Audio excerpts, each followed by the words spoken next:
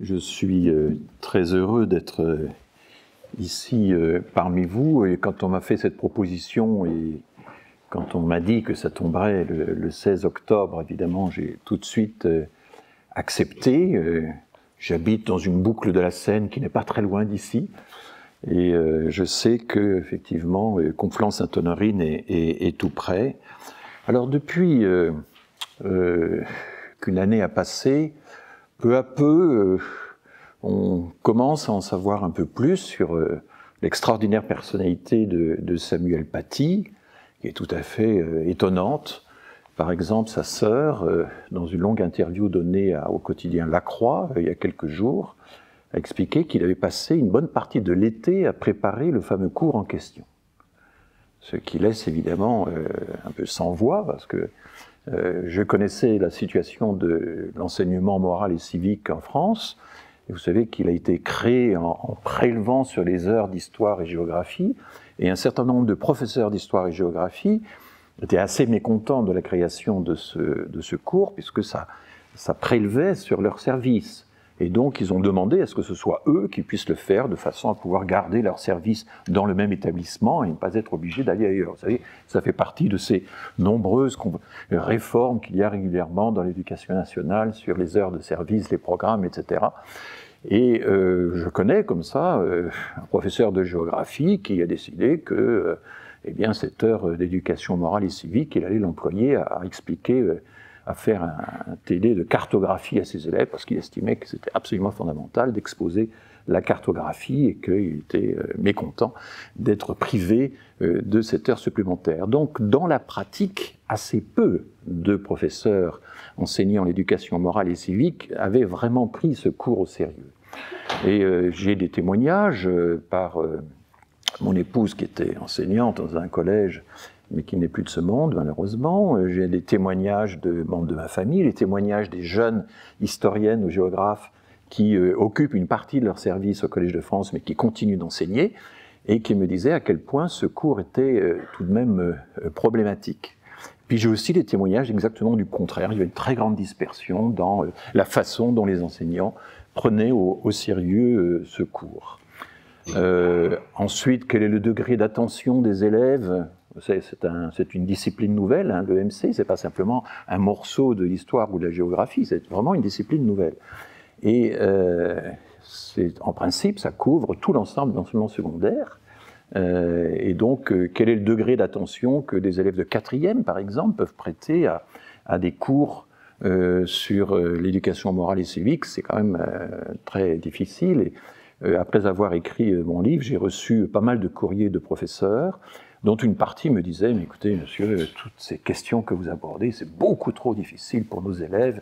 Ils n'ont absolument pas le vocabulaire, les catégories mentales, euh, la capacité d'attention et de réflexion qui permet vraiment de réfléchir à toutes ces questions. Alors évidemment, ça change beaucoup en fonction euh, de, la classe et, et, du niveau.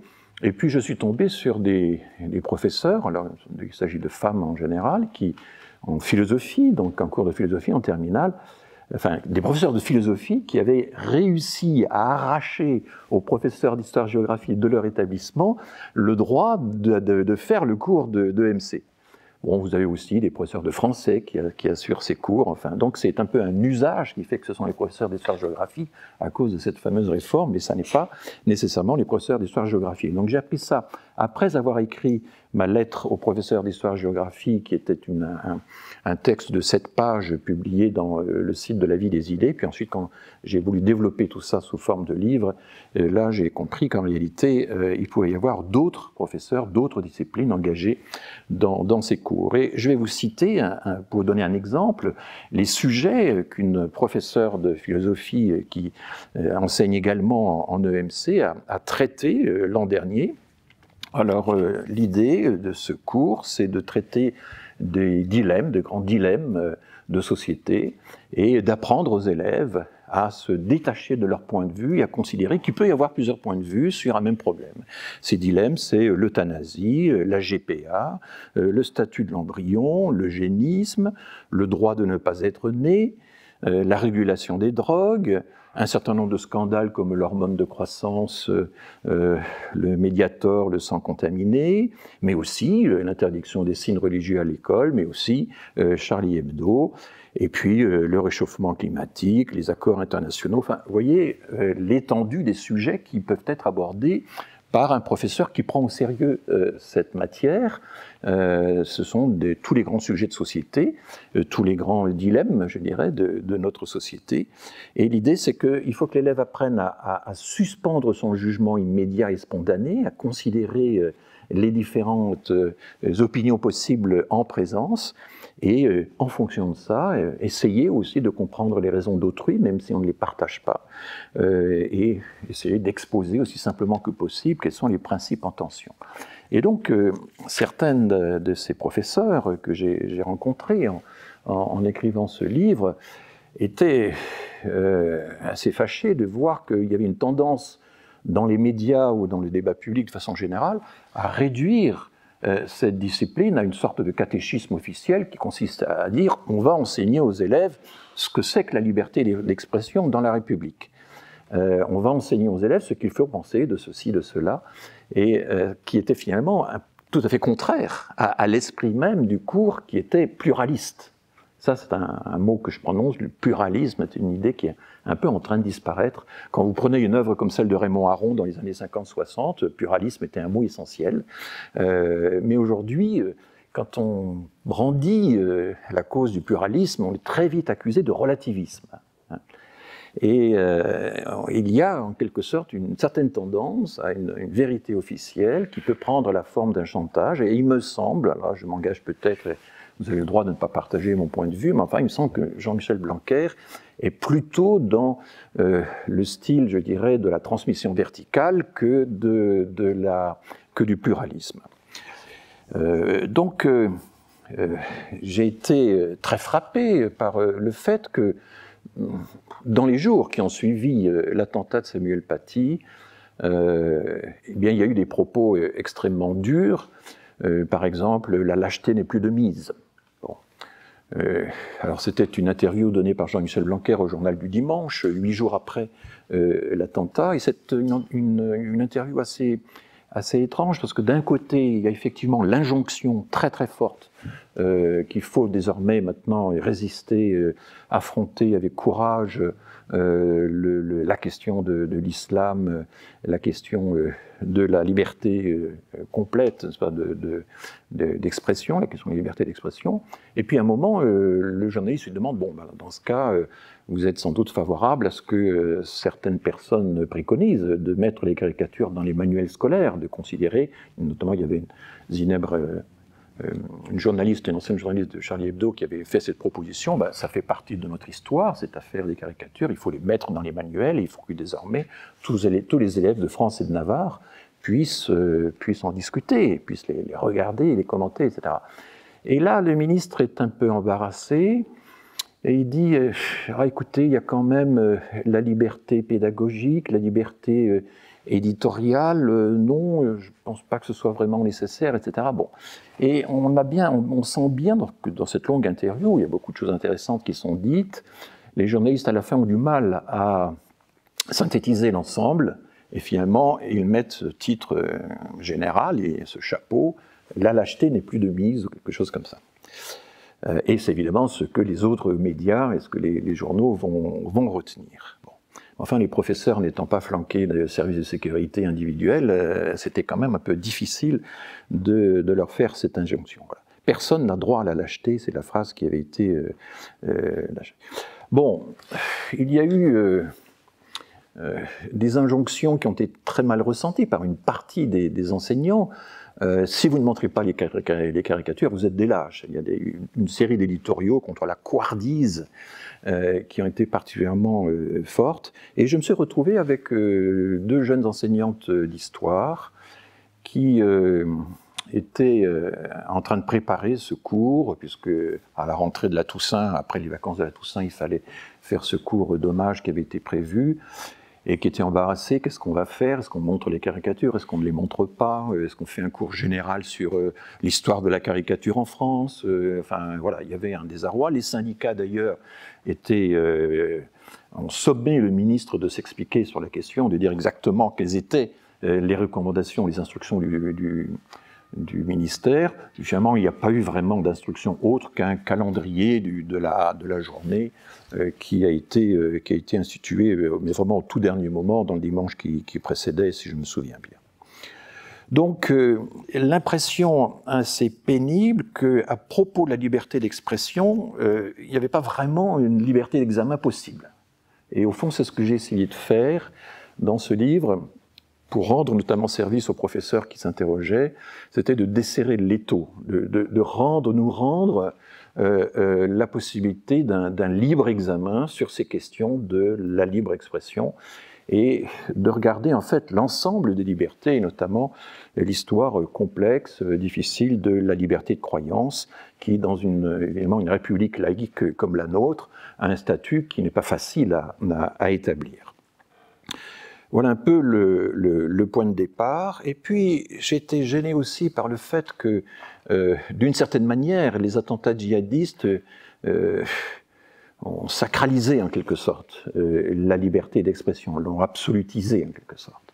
Et qu'il devenait très très difficile d'exprimer d'autres opinions après ces attentats. J'avais été frappé aussi par le fait, et par exemple, Richard Malka, l'avocat de Charlie Hebdo, euh, en a donné plusieurs exemples, mais pas lui uniquement.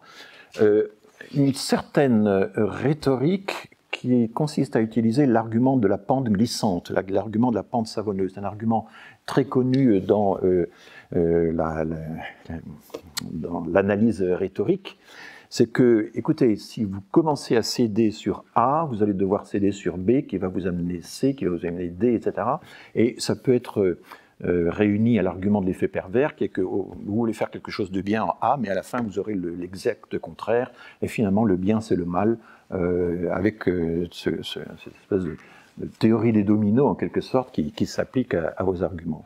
Alors là, quelle forme ça prenait en l'occurrence? Ça prenait une forme assez précise, c'est que si vous essayez de ménager un petit espace à la liberté de croyance, alors vous êtes repoussé de l'autre côté, et vous voilà euh, du côté euh, de l'Iran, euh, du soutien aux assassins de Samuel Paty, de la théocratie, etc., etc.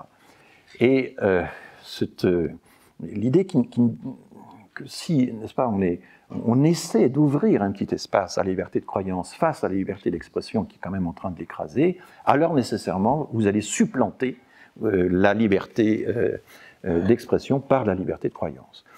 Eh bien, je crois que non, qu'en réalité, euh, nous vivons effectivement dans un monde en tension, où il y a des principes euh, différents, où il y a des libertés de nature diverse qui peuvent entrer en collision, c'est tout à fait classique, mais nous vivons dans l'entre-deux. Nous ne sommes pas voués à pousser le curseur à fond d'un côté ou de l'autre, et ce n'est pas parce qu'on essaie de le desserrer d'un côté qu'on doit être accusé de le pousser à fond du côté opposé. Euh, donc euh, il y a aussi dans toute cette analyse que, j'ai faite une certaine analyse rhétorique. Au fond, j'essaie un peu d'identifier, de, décortiquer la, nature des arguments qui sont utilisés et qui sont très difficiles à, réfuter parce que l'argument de la pente glissante, c'est un argument probabiliste mais qui nous explique que le, pire est certain.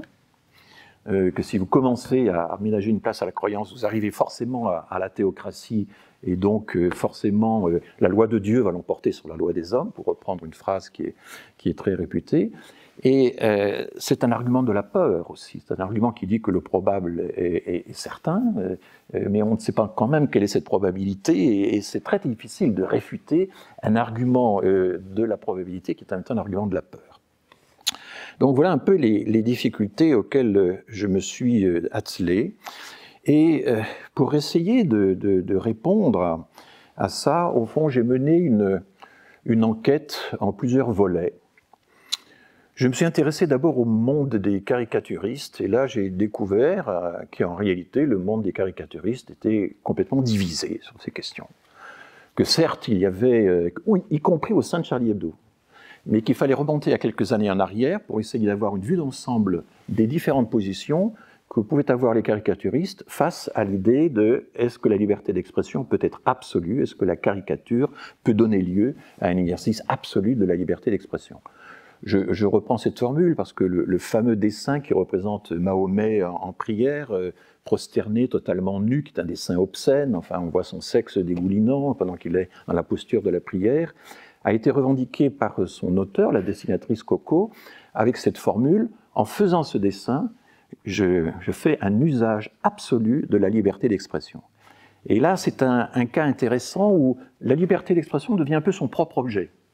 Euh, il y a toute une série d'auteurs, encore récemment dans un numéro de la revue L'Histoire, qui essaie d'expliquer exactement ce qu'était ce dessin de Coco, à quel contexte il répondait, euh, euh, l'histoire de la vidéo qui avait été faite aux États-Unis, qui avait déclenché une émeute au Pakistan avec l'assassinat de l'ambassadeur américain, etc., etc. Enfin, tout ceci ne paraissait pas clairement du tout dans le, dans le dessin, qui était déjà très décontextualisé en lui-même, et qui, au lieu de s'en prendre à la vision caricaturale de, l'islam s'en prenait directement à, Mahomet, ce qui est quand même un peu curieux comme, réaction.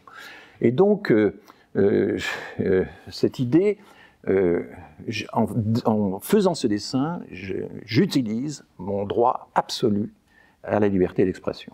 m'a fait penser que finalement, la liberté d'expression devient un peu son propre objet, et là, euh, on est dans le sacré, on est un peu dans, on est dans l'absolu, on est, peut plus, c'est irréfutable, on peut plus rien dire, c'est indiscutable. Eh bien non, je pense qu'il faut desserrer cet étau et qu'on peut euh, mettre tout ça euh, en question. Alors je reviendrai sur ce dessin à propos de la question de savoir est-ce qu'on peut critiquer ou caricaturer les croyances sans caricaturer les croyants, hein, ce qui est une, une dissociation qui est régulièrement faite dans ce, dans ce domaine. Donc, une première enquête consistait à, regarder un peu ce que, font les caricaturistes. Et euh, quand on regarde à l'intérieur de Charlie Hebdo, eh bien, par exemple, la position de Cabu n'était pas euh, celle euh, de Charb, par exemple. Charb avait vraiment l'idée qu'il fallait pousser à fond la caricature sans aucune réserve. Les djihadistes n'ont aucun, scrupule, et eh bien nous non plus, il faut qu'on y aille à fond.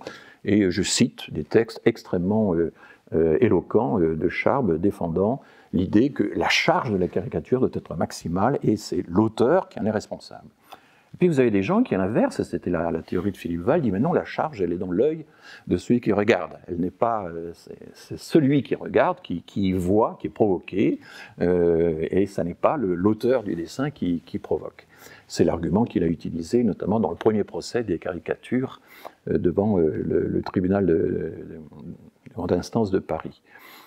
Cabu, lui, avait l'idée, là encore je cite des textes, que la caricature contre euh, l'islam doit bien préciser quelle est sa cible.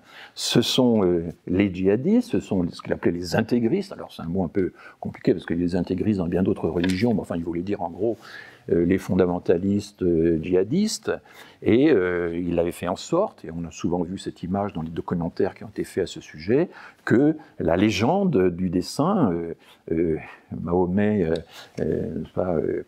trahi par les, djihadistes, enfin, je ne sais pas tout à fait cette formule, mais que cette légende soit inséparable du dessin. Et par exemple, quand elle mord sur le, le turban de Mahomet, euh, le texte noir devient blanc pour continuer d'être lisible. Il y a une continuité entre la légende et le dessin. Il ne faut pas que la légende, que le dessin soit séparable de sa légende. Et il faut bien cibler, n'est-ce pas le, euh, Ça n'est pas tout l'islam qu'on vit, c'est une, fraction bien particulière de l'islam. Et ça, c'était l'idée de, de, Cabu. Et donc, du coup, je suis euh, inattaquable. ça, ça, passe, disait-il. Et puis, il y a un autre personnage qui est intéressant c'est Pétillon, donc l'auteur euh, de, cet extraordinaire enquêteur qui est Jack Palmer, enfin vous voyez, et l'intérêt de Pétillon, c'est qu'il a travaillé à la fois au Canard enchaîné et à Charlie Hebdo. Et, et euh, il porte un témoignage sur le fait que euh, il a écrit un texte qui a été très très mal euh, vu par Charles, auquel Charles a répondu dans la semaine qui a suivi par un éditorial cinglant. Et Pétillon dit, mais écoutez, euh, il faut faire très attention, il y a des dommages collatéraux quand on s'en prend à l'islam, il faut s'en prendre à l'islamisme, mais, pas à l'islam. Et se caricaturer le prophète comme on l'a fait avec le dessin obscène de Coco, eh bien, ça, en fait, consiste à s'en prendre à tous les musulmans sans, discrimination, sans faire des différences. Donc c'est un texte très prudent, très pensé. Bon, Cabu, lui, c'était pas quelqu'un qui, euh, Cabu s'est exprimé de façon très très sommaire sur le sujet, mais Pétillon, on voit que c'est un texte extrêmement réfléchi, il a vraiment réfléchi à la question. Et il y a donc plusieurs hein, théories en, présence parmi les caricaturistes. Le canard enchaîné, alors là, il faut quand même rappeler qu'on a la chance de ne pas avoir un seul, euh, un seul hebdomadaire satirique en France, mais on en a au moins deux. Hein. et ça, c'est le pluralisme. c'est important de, ne pas être prisonnier d'un seul, d'un unique point de vue. Le canard enchaîné, c'est quand même 300 000 exemplaires, euh, alors que Charlie Hebdo, en partant de croisière, c'est 50 000. Hein ça a quand même un siècle d'existence, plus d'un siècle d'existence du canard enchaîné, avec une très très longue habitude de la caricature religieuse. Donc euh, je pense que le point de vue du canard enchaîné est quand même intéressant à regarder. Et si vous le regardez, ben, c'est le conflit euh, avec euh, Charlie Hebdo sur la façon dont il faut s'en prendre aux religions et, notamment à l'islam. Et le canard enchaîné, alors aujourd'hui évidemment il fait profil bas parce que c'est très difficile de pouvoir s'exprimer là-dessus, mais le canard enchaîné disait écoutez, caricaturer, c'est très bien, mais enfin, il faut aussi faire preuve un petit peu d'intelligence, pas mettre tout le monde dans le même sac, euh, etc. Enfin, et là encore, je cite euh, toute cette, euh, tous ces débats. Ce qui est intéressant de voir, c'est que je ne suis pas le seul à m'être intéressé à, ce genre de débat interne au milieu des caricaturistes. On fait maintenant s'il n'y avait qu'un seul point de vue possible, et si le meilleur que la France puisse apporter à la, terre entière, c'est les caricatures de Charlie Hebdo. Je pense que non, qu'il y a d'autres façons de concevoir la caricature, de la maîtriser, de, euh, la, pratiquer. Euh, deuxième enquête, euh, l'histoire. Et là, je me suis remis, replongé dans ces textes toujours extraordinaires que sont les débats de la Convention le 22 et 23 août 1789 euh, où des gens d'une intelligence extraordinaire, d'une éloquence absolument prodigieuse, euh, eh bien, réfléchissent ensemble sur les grandes libertés. Et ils ont été assez décriés, ces gens-là. Hein. On a euh, des textes d'Hippolyte on a des textes d'Edmund Burke, le, les polémistes anglais, qui ont longtemps fait croire que les grands conventionnels étaient des intellectuels bavards, euh, des euh, petits plumitifs de province euh, qui, en quelque sorte, faisaient leur revanche sociale à la faveur de la Révolution.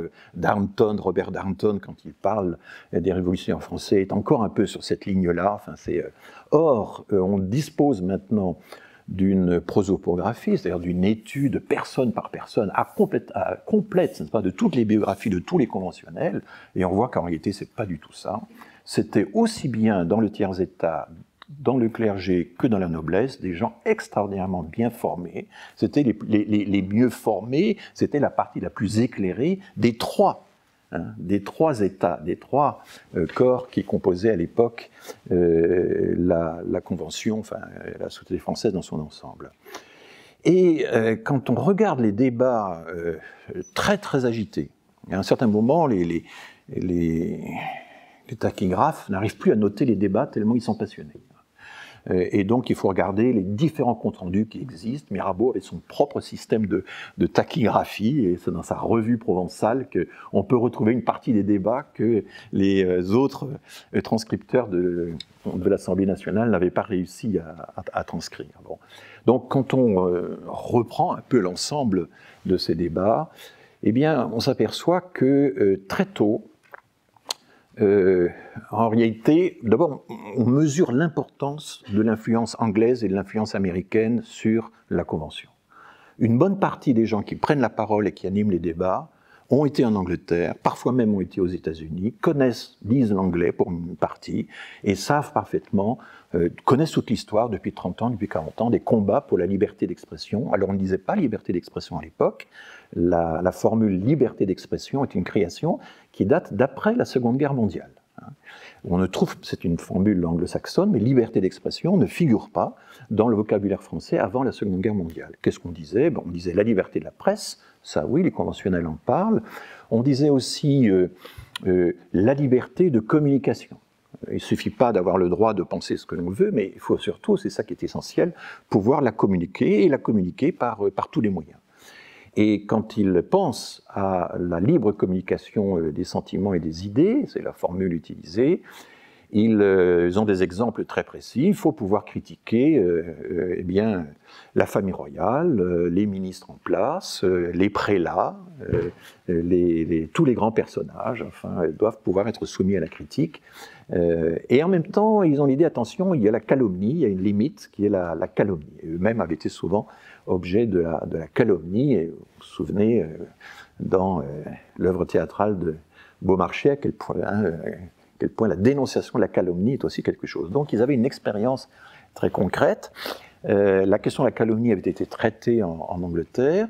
Ils ne, sont pas, euh, ils ne veulent pas transposer tel quel ce qui euh, a été fait en Angleterre aux États-Unis. Et là, Marcel Gauchet, dans son livre, son grand livre sur l'invention des droits de l'homme, le dit très bien ils savent que euh, c'est une chose d'organiser des minorités religieuses dans un territoire euh, neuf, n'est-ce pas, euh, aux États-Unis, et c'en est une autre d'organiser les libertés dans une société qui est recrue d'ancienneté, de privilèges, etc.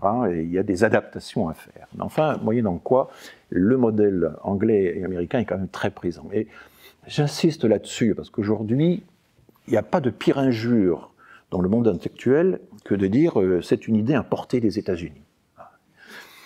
Euh, en réalité, quand on regarde toute l'histoire, euh, nous n'avons cessé, entre les États-Unis et la France, de nous échanger de très grandes idées.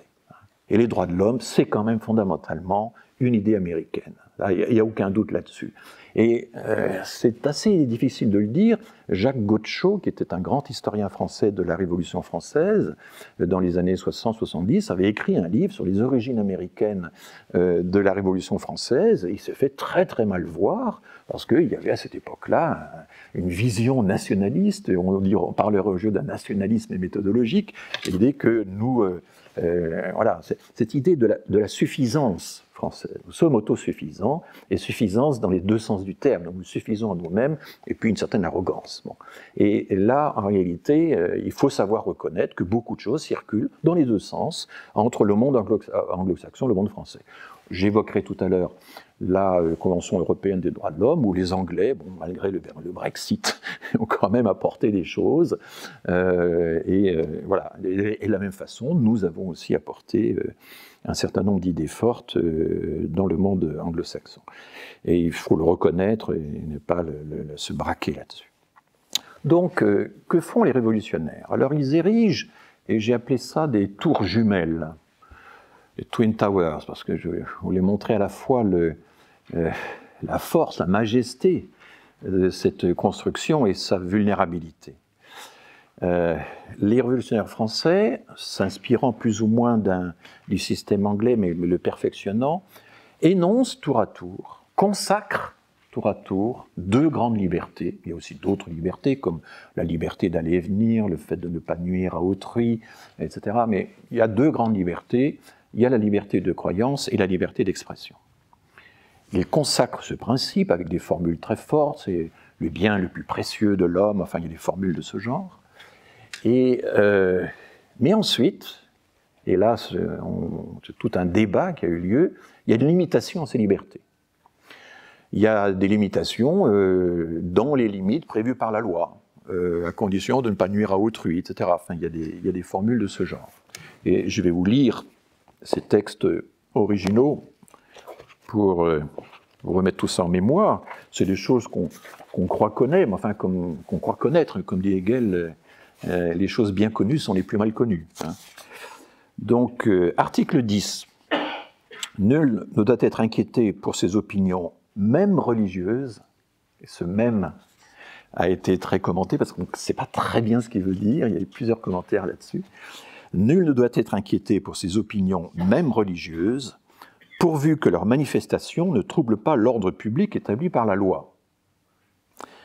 Article 11, donc un article vraiment séparé, la libre communication des pensées et des opinions est un des droits les plus précieux de l'homme.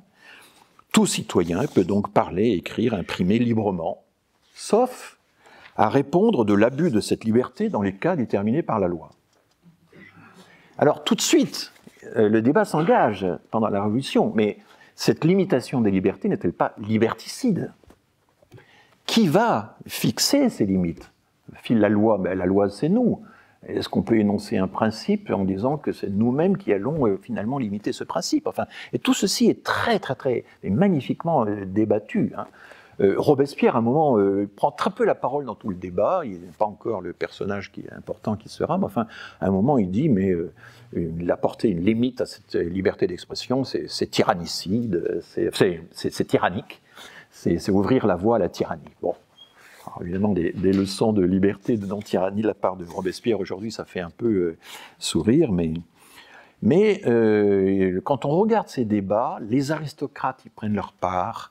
Euh, le pasteur Rabot Saint-Étienne, qui est un, personnage qui a été très très influent dans la Convention, qui va défendre les droits des protestants, prend également la parole. Il y a un évêque alsacien, l'évêque de Huningue, qui va être le premier évêque conventionnel, qui est en fait extrêmement progressiste, on dirait de nos jours, etc. Et c'est souvent euh, les plus progressistes qui disent mais il faut quand même avoir des limites, mais en même temps il faut pouvoir limiter ces limitations. Et ça, c'est tout le problème qui va naître. On défend, on consacre des libertés, on explique qu'elles vont être limitées par la loi. Rabot Saint-Étienne dit qu'il vaudrait mieux, plutôt que d'évoquer la loi et donc le législateur, dire simplement à condition de ne pas nuire à autrui. Les droits d'autrui, c'est fait partie des libertés fondamentales, le respect des droits d'autrui. Mais il n'est pas suivi. Hein, il, ne sera pas, il ne sera pas suivi. Et euh, finalement, qu'est-ce qu'on va faire? Ben, On va laisser euh, à la jurisprudence le soin de déterminer quelles limites on peut poser aux limites euh, des libertés. Donc il y a toujours un système à, il y a un système à trois étages. Un, on consacre la liberté, de façon très solennelle. Deux, on lui pose des limites. Trois, on espère que le législateur, le juge, la loi, on ne sait pas trop qui, va quand même veiller à limiter ces limitations pour qu'elles ne soient pas liberticides. Alors là, vous voyez que ça devient un petit peu compliqué, et ceci est fait donc pour les deux libertés les jumelles, la liberté de conscience et la liberté d'expression, ce qu'on appellera plus tard la liberté d'expression. Alors, je saute euh, les siècles et je vais euh, euh, tout de suite à la Déclaration universelle des droits de l'homme en 1948. Vous savez quelle est la part que René Cassin a prise à sa rédaction. Enfin, il n'était pas le seul. Hein. Il faut toujours rappeler que la Déclaration universelle des droits de l'homme a été co-rédigée par euh, un Canadien, un Chinois, alors c'est un Chinois de, Taïwan, hein, euh, par un Russe, par, enfin, il y a eu quelque chose de, très, je dirais, multiculturel dans la rédaction. Enfin, c'est quand même lui qui fait la rédaction finale. C'est lui aussi qui invente l'idée que ce ne sera pas, ce sera ni un traité multilatéral, c'est impossible de mettre d'accord euh, le, le, côté soviétique, enfin, de, le côté libéral de, à l'époque, les, deux blocs. Euh, il, euh, et il dit aussi ce ne sera pas une, euh, une convention internationale, ce sera une simple déclaration.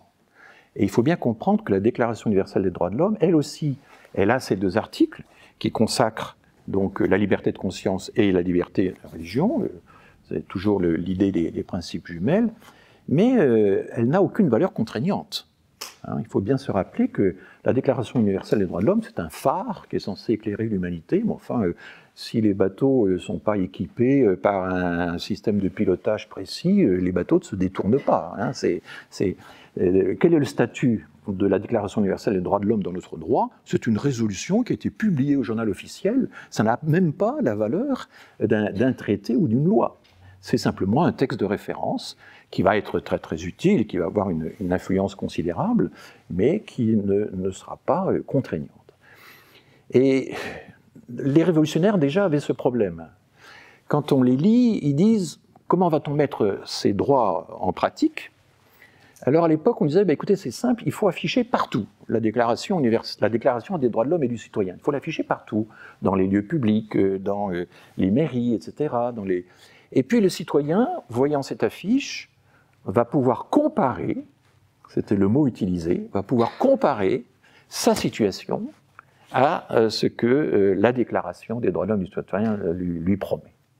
D'accord? Mais qui va faire cette comparaison? Quels étaient les, tribunaux? Comment quels étaient les tribunaux qui étaient suffisamment armés pour pouvoir faire cette comparaison et, et en tirer des conclusions concrètes? Ben, Il n'y avait rien, il n'y avait aucun système.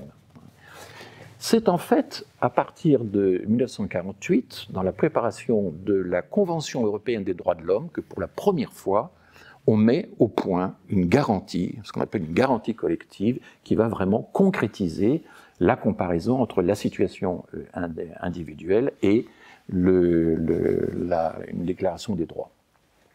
Et l'homme qui va faire, euh, qui va être l'artisan euh, de cette idée, c'est un homme qu'on a un peu oublié de nos jours, qui est Pierre-Henri Tedgen, T-E-I-T-G-E-N, qui appartient à une famille de, résistants. Son père, à un certain moment, euh, les deux frères Tedgen et le père étaient tous les trois arrêtés par la Gestapo. Et il paraît que la mère a soutenu le coup d'une façon absolument extraordinaire. Enfin, c'est vraiment une famille très intéressante. Je vous conseille, si vous arrivez à trouver ça sur un site, de lire les mémoires de Pierre-Henri Tedgen. Pierre-Henri Tedgen euh, a été le premier ministre de la Justice de Général de Gaulle à la Libération. C'est lui qui va s'occuper de l'épuration et s'occuper d'un certain nombre de dilemmes qui étaient évidemment très, très complexes. C'est lui qui va conseiller le Général de Gaulle pendant l'épuration. il est il va être euh, arrêté, il, avait été arrêté et torturé par la Gestapo, il rejoint le général de Gaulle quelques jours après l'appel du 18 juin. Donc vous voyez, un, personnage qui est quand même euh, assez, étonnant. Hein. Euh, et puis c'est un démocrate chrétien, alors ça, ça va le séparer de De Gaulle pendant pas mal de temps, et il sera néanmoins, après René Cassin, le deuxième juge français à la Cour européenne des droits de l'homme.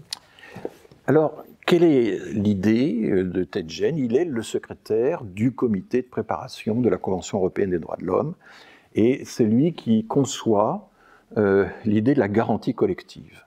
Euh, tout citoyen d'un pays qui adhère au, Conseil de l'Europe, et ça va au-delà des frontières de l'Europe, hein, l'Azerbaïdjan est par exemple là-dedans, eh bien, tout citoyen, après avoir épuisé les voies de recours euh, de son pays, euh, pourra s'adresser à la Cour européenne des droits de l'homme, et la Cour européenne des droits de l'homme émettra un jugement sur son affaire précise. Ce n'est pas une déclaration générale, c'est un jugement sur une affaire précise. Et la conclusion de euh, la Cour s'imposera automatiquement aux pays membres. Il ne faudra pas tout un système de transposition, de changement de la loi, etc. À partir du moment où la Cour décide que tel euh, droit, par exemple, a été bafoué dans telle affaire, etc., eh bien, euh, le justiciable euh, aura gain de cause. Ça, c'est quelque chose de complètement nouveau, qui n'existait absolument pas, qui, n'a rien à voir avec le dispositif purement déclaratoire de la Déclaration des droits de l'homme et des citoyens. Alors, si je raconte tout ça, c'est parce que toutes ces choses-là, elles sont très ignorées, hein, entre, entre nous soit dit. Elles sont très très ignorées et je pense que ça doit faire partie des choses que les professeurs euh, d'histoire, euh, de géographie, euh, de sciences économiques et sociales, etc., pourraient utilement enseigner à leurs élèves. Parce que l'histoire ne, ne se termine pas là. Le problème, c'est que la France va mettre très très longtemps à ratifier la Convention européenne des droits de l'homme nous avons refusé de ratifier la Convention européenne des droits de l'homme pendant 24 ans. Et pourquoi? C'est seulement en 1974 qu'Alain Poher, je ne sais pas si ce nom vous dit encore quelque chose, président par intérim entre le décès de Georges Pompidou et l'élection de Giscard d'Estaing, c'est Alain Poher qui ratifie la Convention européenne des droits de l'homme en 1974. Et euh, quelles étaient les raisons de l'opposition de la France à l'adhésion à la Convention européenne des droits de l'homme? D'abord, il y avait la guerre d'Algérie. Et la guerre d'Algérie, ça allait de pair avec euh, des règlements militaires qui donnaient aux militaires des droits exorbitants qui n'étaient pas compatibles avec euh, les droits de l'homme définis par la Convention européenne. Il y avait aussi euh, le problème de l'article 16 de la Constitution. L'article 16, c'est l'article qui donne les pleins pouvoirs au président de la République en cas de crise grave. Et De Gaulle a utilisé une fois hein, cet article pendant la crise d'Alger. Euh, mais ce que disait la Convention européenne des droits de l'homme, ce n'était pas qu'il était interdit euh, de promulguer un tel article, d'inscrire un tel article à la Constitution. Euh, le Conseil de l'Europe disait, mais nous voulons pouvoir vérifier le mode d'application de cet article 16 sur les pleins pouvoirs décernés au président de la République. Nous voulons regarder ces modalités, évaluer ces modalités, et puis nous garantir que sitôt la crise finie, on va revenir à la normale. Et là, De Gaulle dit non, c'est pas possible, c'est un, empiètement de la souveraineté euh, européenne sur la souveraineté française. Donc De Gaulle tenait beaucoup à l'article 16 sur les pleins pouvoirs. Et il y avait d'autres éléments encore, il y avait le régime des prisons françaises qui n'était pas compatible, etc. Enfin bref, donc on va refuser pendant longtemps cette, cette convention.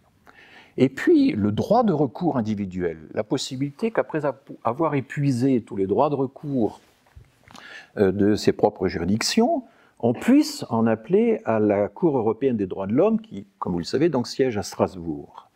Eh bien, c'est seulement en 1981 que nous y avons adhéré.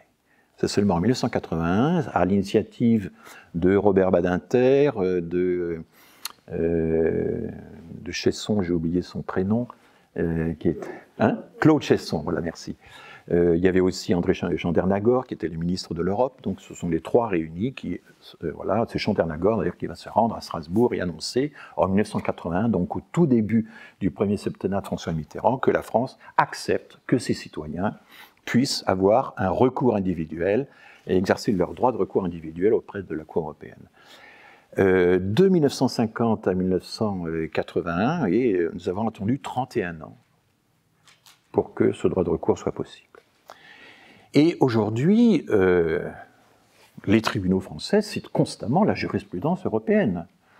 lorsque le tribunal de grande instance de Paris, dans le premier procès des caricatures, explique que la caricature, c'est normal, parce que c'est normal de pouvoir heurter, choquer, blesser euh, euh, les personnes, etc. Euh, il, faut, que les croyants s'attendent à ce qu'ils puissent être, dans une société démocratique et pluraliste, être blessés par la caricature religieuse. etc. Ben, il cite intégralement des arrêts de la Cour européenne des droits de l'homme, hein, notamment l'arrêt Handicide qui date de 1976. Et en réalité, quand on regarde euh, la, relation entre le droit euh, national, le droit interne et le droit européen, l'imbrication est de plus en plus forte. Et ça va être très très difficile, comme certains euh, nous l'annoncent dans les programmes électoraux qu'on est en train de commencer à connaître en ce ça va être très difficile de retirer la France des conventions européennes, parce qu'en réalité, une, grande partie de nos libertés sont garanties en référence aux textes européens.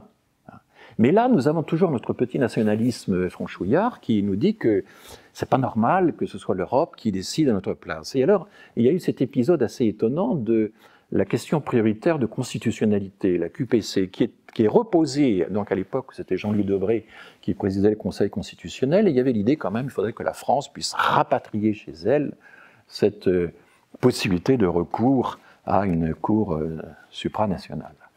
Et euh, donc, euh, finalement, euh, il, était, est devenu possible pour un citoyen, à l'occasion d'une affaire précise, pour ses avocats, de mettre en cause la constitutionnalité d'une loi déjà promulguée, et à condition que la Cour de cassation ou le Conseil d'État soient d'accord pour qu'on examine cette constitutionnalité. Et alors, là, l'effet de cette mesure a été complètement contraire à ce qui était attendu on a cru qu'on allait rapatrier en France le droit européen, en quelque sorte, puis c'est l'inverse qui s'est passé. Parce que euh, le Conseil d'État ou la Cour de cassation, eh bien, pour euh, décider du caractère euh, constitutionnel d'un certain nombre de lois, se réfère, comme c'est étrange, à la Convention européenne des droits de l'homme. Et donc, du coup, on a encore consolidé avec la QPC notre relation avec le droit européen. Donc, vous toutes ces questions de, souveraineté ou pas de souveraineté, moi je fais une distinction entre deux types de souveraineté. Il y a une souveraineté euh, par le bas qui consiste à croire que euh, nous sommes euh, dépossédés lorsque on s'en remet à des instances européennes, des instances supérieures. Et donc du coup, nous prenons toujours le train en marche tardivement. Et puis il y a une, une, souveraineté par le haut qui consiste à dire mais tout ça c'est le développement de notre propre héritage. Il faut participer au développement de cet héritage juridique et il faut qu'on monte dans, la cabine du, train et de, pilotage et pas qu'on reste à la traîne. Alors il y a d'autres exemples où nous avons été aussi à la traîne, nous le sommes systématiquement, c'est toujours par cette espèce de, suffisance euh, juridique et politique. C'est euh, toute la, législation sur le racisme. En 1965, euh, euh, l'Assemblée générale des Nations unies euh, vote une résolution de lutte contre le racisme et les discriminations, enfin de, lutte contre tous les racismes, toutes les formes de racisme, là c'est ça la, formule. Et la France refuse d'y adhérer, là encore. Et c'est seulement six ans après qu'on le fera. Pourquoi? Parce que l'ONU décrète une année internationale de lutte contre le racisme, en 71 ou 72, et là, la France peut décemment pas refuser, et c'est à cause de ça, sous la pression internationale, qu'en 1972, nous avons la fameuse loi Pleven, qui va modifier la loi sur la presse et qui va introduire dans notre législation, pour la première fois, le délit d'injure raciale, le délit de provocation euh, à la violence contre les minorités euh, religieuses, raciales, etc. Euh, ces textes, donc cette loi Pleven, date de 72 et c'est sous la pression européenne qu'elle est internationale qu'elle va être votée. Aussi sous la pression des associations euh, qui réclamaient euh, depuis longtemps que euh, cette ratification soit faite. Donc là encore, retard. Alors, quels étaient les arguments de la France pour dire qu'on n'avait pas besoin d'adhérer à ces résolutions contre le racisme ben, L'idée, c'était, bah, écoutez, nous ne sommes pas l'Afrique, nous ne pratiquons pas l'apartheid, nous ne sommes pas les États-Unis, nous n'avons pas de ségrégation raciale, et puis nous venons de terminer la guerre d'Algérie. Donc, nous sommes immunisés désormais contre le racisme. Et cette idée que la République est naturellement, euh, foncièrement, une fois qu'elle se débarrasse de quelques éléments adventistes, de quelques événements, etc., qu'elle est foncièrement immunisée contre euh, le racisme, c'est une idée très prégnante jusqu'à nos jours. C'est vraiment une des idées maîtresses qui gouverne le, le débat encore, aujourd'hui. Qu'il suffit de s'en remettre à l'idée de la République pour être immunisé contre le racisme. Ben, c'est malheureusement beaucoup plus compliqué que ça. Alors, une des conséquences aussi, une des formes que va, prendre ce retard, c'est que l'Angleterre, dès 1965, crée une agence de lutte contre les discriminations et le racisme. Et nous, ce sera bien plus tard avec la, la HALD, enfin ça a été préparé par le GEL, par le groupe d'études de lutte contre les discriminations, mais enfin la HALD, ce sera beaucoup plus tardif. Et là encore, euh, il y a une trentaine d'années euh, enfin de, décalage entre ce que font les Anglais et ce que nous, ferons. Même si, évidemment, on peut imaginer qu'il y a plusieurs façons de lutter contre les, euh.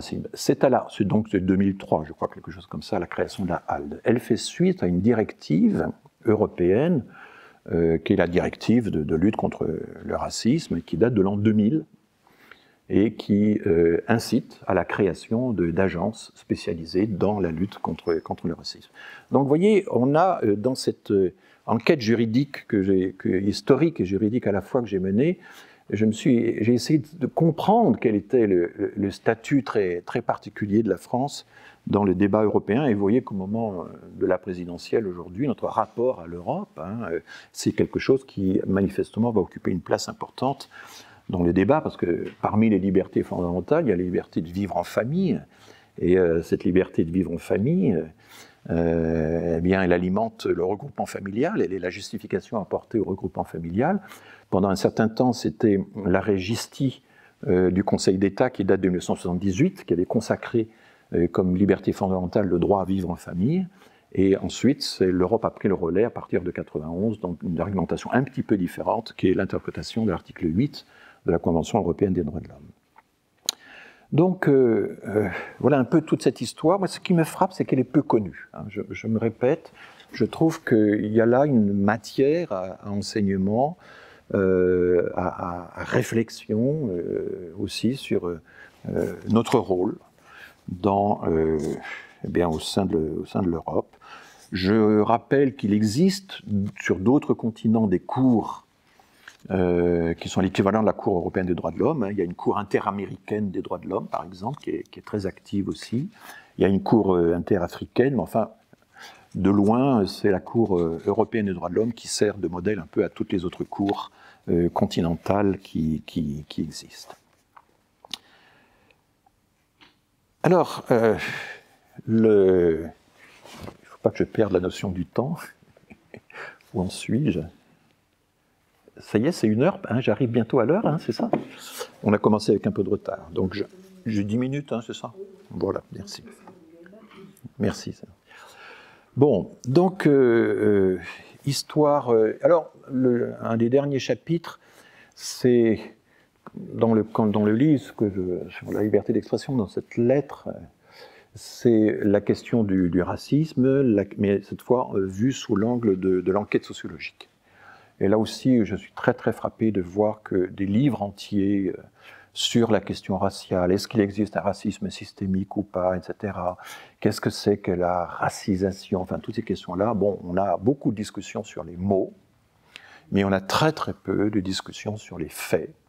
Or, les faits maintenant ont été étudiés de façon extrêmement précise dans toute une série d'enquêtes que je cite. Euh, alors, je cite d'abord un, numéro extraordinaire d'économie et statistique. Économie et statistique, c'est la revue de l'INSEE. Et euh, euh, en 2000, c'est intégralement téléchargeable sur Internet. Il y a, alors je ne sais plus en quelle année c'est, 2010, quelque chose comme ça, il y a un numéro triple d'économie statistique entièrement consacré à la mesure des discriminations, avec une introduction extrêmement pédagogique sur les différentes façons qu'on a de mesurer les discriminations. En gros, euh, il y a l'enquête euh, dont trajectoire et origine, l'enquête de l'INED et de l'INSEE est un bon exemple, qui consiste à étudier les trajectoires des personnes résidentielle, professionnelle, éducative, euh, etc., euh, l'accès à toutes sortes de choses, au logement, au crédit, etc. Et puis à regarder si ces trajectoires sont euh, anormalement fléchies, anormalement ralenties par des caractéristiques liées aux origines. C'est un peu compliqué parce qu'il faut essayer de connaître un petit peu toutes les variables qui permettent euh, d'accéder à un certain nombre de choses. Hein. Il y a le niveau d'éducation, il y a les diplômes, il y a etc. Enfin bon, euh, euh, certaines choses ne sont pas nécessairement accessibles dans des endroits géographiquement éloignés, etc. Enfin bon, il y a une série de vérifications à faire. Mais en gros, il y a de fortes présomptions à chaque fois qu'on puisse, quand on voit deux personnes ayant les mêmes caractéristiques, que l'une a accès à un certain type de bien et l'autre pas, et que ce qui les différencie, c'est uniquement les origines, mais il y a une forte présomption qu'il y ait une, discrimination selon l'origine. Le deuxième mode d'établissement des discriminations, c'est le testing, le fameux testing. Et là, il faut bien distinguer entre deux types de testing qui euh, n'ont pas grand-chose à voir. Au début, c'est SOS Racisme qui euh, euh, s'intéresse au testing. Et pourquoi? Parce que les racisme mesure euh, le côté, l'impuissance de la loi de 1972, hein, la loi Pleven. Je rappelle donc cette loi, c'est la loi qui modifie la, loi sur la liberté de la presse. Et la loi Pleven de 72, elle a deux, titres, enfin deux, rubriques. Un, donc l'introduction de, des injures à caractère racial, euh, religieuses, etc. Et donc, euh, c'est la loi sur la presse, et ça veut dire que ce sont des choses qui sont publiées, qui sont publiques. Hein. Il est interdit de publier euh, des euh, injures de ce type. Et le deuxième titre de la loi dit que toute personne détenant une autorité publique, délégataire de l'autorité publique, etc., et qui refuserait sciemment, l'expression dans la loi, qui refuserait sciemment un droit à une personne en fonction de ses origines, eh bien, est condamnable. Et il y a évidemment le montant et la nature de la condamnation. Mais personne qui refuserait sciemment. Donc en fait, le problème de la loi de 72, c'est qu'elle nous a formaté pendant très très longtemps dans l'idée que euh, la discrimination, c'est quelque chose de nécessairement volontaire, que c'est quelque chose de conscient, de délibéré, que c'est au fond une persécution. Or, euh, la directive européenne de 2000 introduit cette idée qui est encore très très mal comprise en France, qui est qu'en réalité une discrimination peut être non volontaire, peut être non intentionnelle. Et que la discrimination, ça consiste en quoi? Ça consiste à mesurer le fait, à établir le fait par des mesures précises que certains groupes sont défavorisés dans euh, la distribution des tâches, dans euh, l'accès au crédit, dans l'accès au logement, etc., etc. Et donc, le législateur ne sonde pas les intentions des personnes ou des discriminateurs, il établit la réalité des discriminations. En fait, il y a toute une typologie maintenant assez complexe des discriminations que, j'expose dans les livres aussi simplement que possible. Euh, il y a des discriminations qui consistent à traiter également des personnes alors qu'elles sont dans des situations distinctes. Il y a l'inverse, c'est traiter de façon distincte, différentielle des personnes qui sont dans les mêmes situations. Euh, il y a euh, une façon d'établir comme ça des lois un petit peu générales qui, comme par hasard, vont être défavorables à tel groupe, mais sans qu'on le dise, etc. etc. Enfin, c'est assez compliqué maintenant l'architecture des discriminations. Et arrive là la fameuse discrimination systémique, horreur. Qu'est-ce que c'est que la discrimination systémique? J'étais très frappé de voir que Jean-Marc Sauvé, euh, le président de la commission sur les abus sexuels euh, dans l'Église, utilise cette expression de systémique. Il y a quelque chose de systémique dans la façon dont euh, l'Église a traité notamment les, enfants. Qu'est-ce que ça veut dire? Ça ne veut pas dire qu'il y a une persécution systématique. C'est pas du tout ça.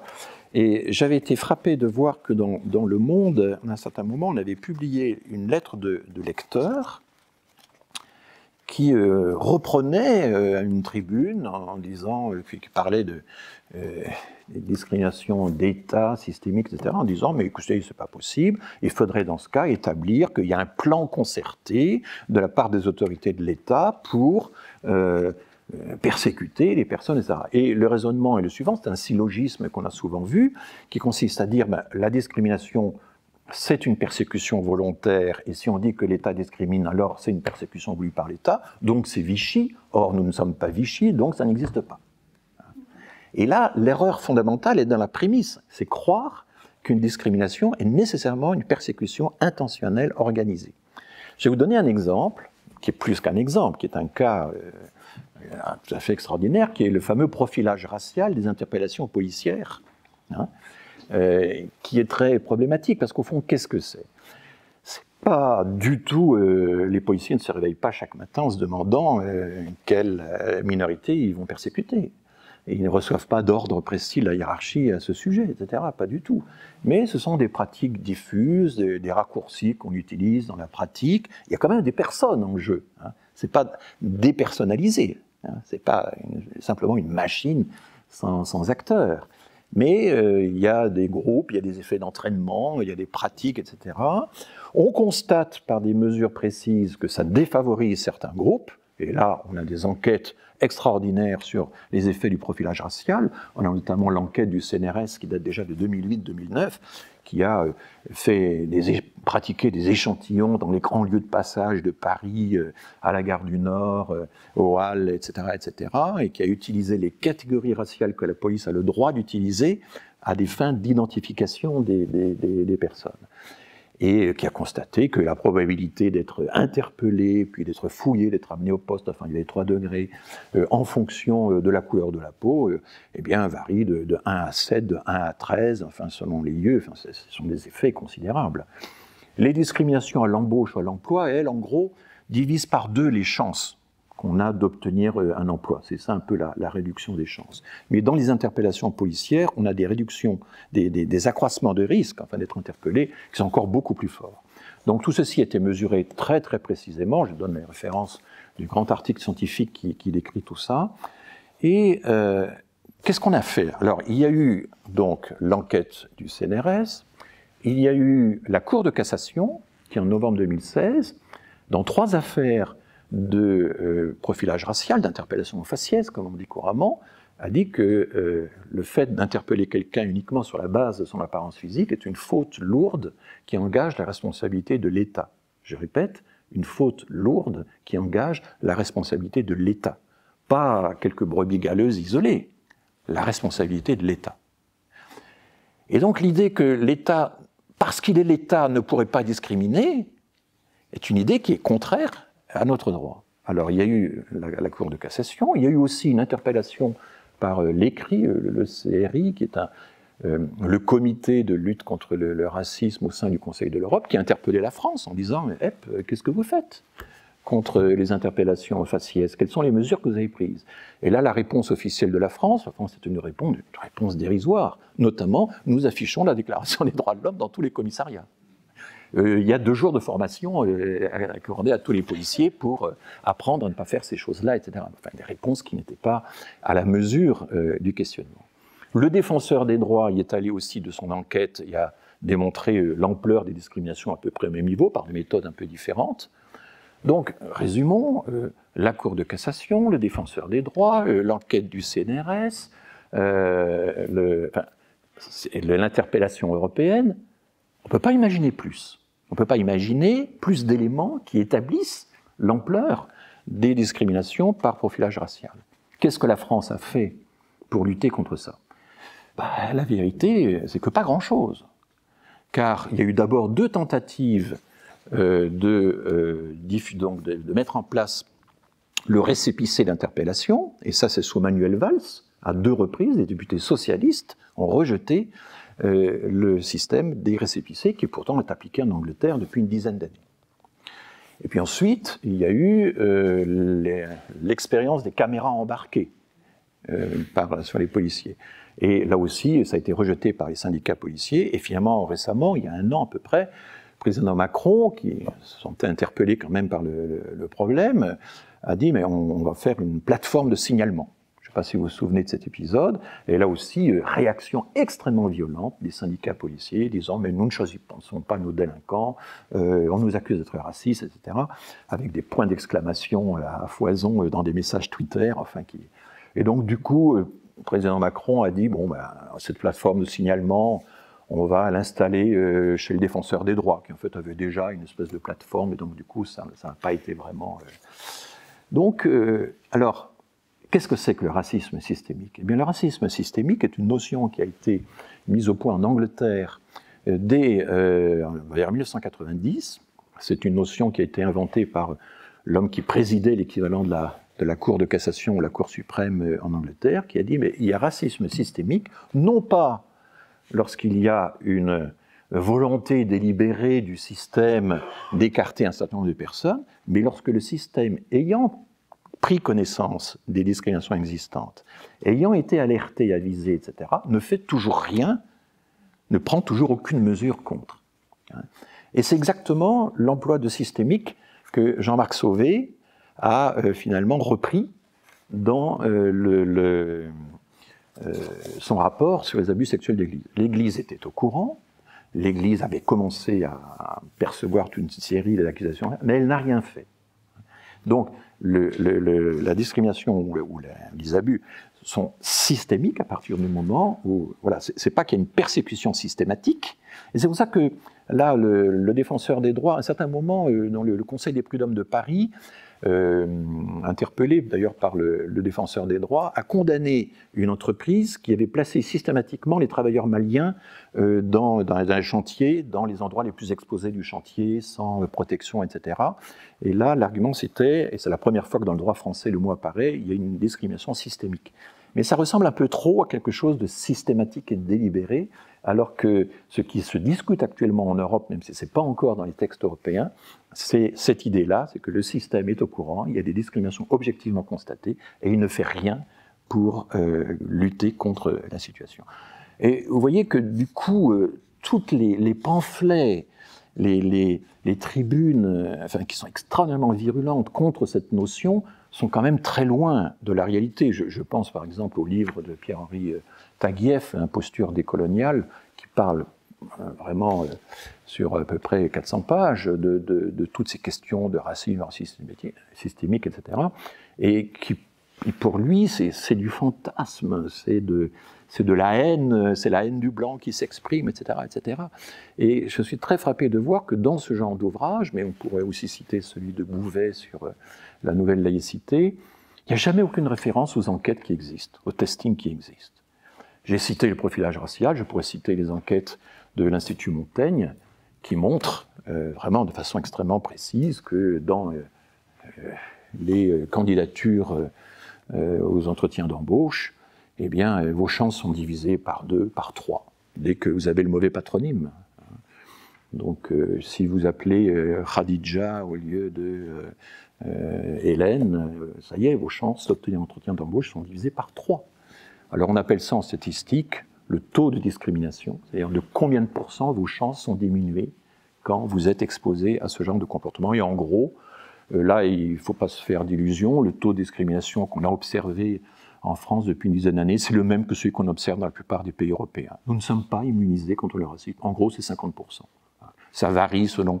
Il y a des grandes revues qui ont été faites, qui ont consisté à étudier toutes les études existantes un peu partout en Europe ou aux États-Unis.